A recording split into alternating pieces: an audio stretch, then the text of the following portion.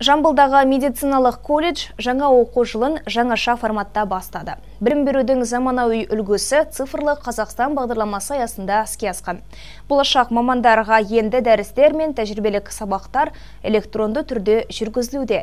Студенттер мен оқытушылар қауымы ең алдымен қағаз бастылықтан құтылғандарына қуанышты. Бұл білім сапасын одан әрі жақсартуға жол ашады дейді ұстаздар бәсекеге қабілетті мемлекет ретінде білім беру саласын цифрландыру маңызды мәселе. Жаңарған жүйе жастардың сапалы білім алуына да сеп болмақ. Жамбыл медициналық колледжі өткен жылдан бастап жаңа жүйеде білім беруді қолға алды. Қазір мұнда бес бірдей смарт кабинет бар. Дәрістер де видео форматында жүргізіледі. Студенттер бұрынғыдай бормен емес интерактивті тақтада үш қаламның көмегімен практикалық жұмыс істеу өте қолайлы дейді. Жиырма бірінші ғасырдың даму барысында біздегі 3D 3D ручкалары жақсы дамыған бізге өте қолайлы қолдануға және де карталық компьютер бізде ол интернетпен қосылған өте бізге тиімді білмеген сабақтарымызды осы тақта арқылы біліп отырамыз.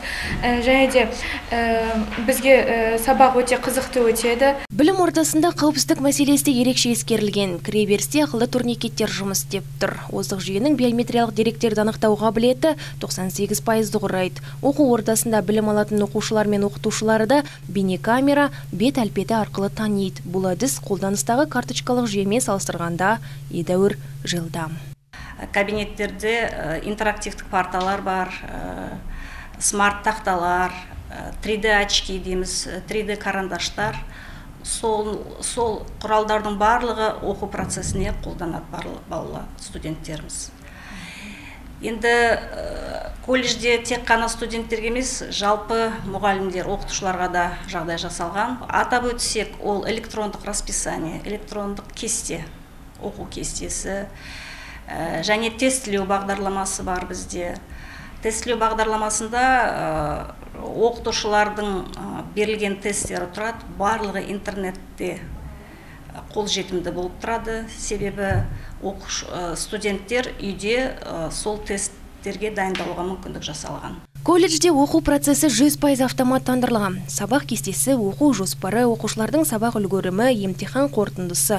Осы сынды бар қажетті ақпарат электронды түрде. Одан бөлек кітапхана мен асхана да электронды форматта жұмыс істейді. Студенттерге арналған заманауи коворкинг орталықта осында.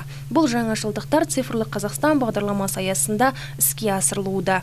Айта кетейік бүгінде бұл білім ордасында екі мыңдай болашақ медицина қызметкерлері даярланып жатыр. Олардың жартысы жартысынан көбі грант негізінде оқиды.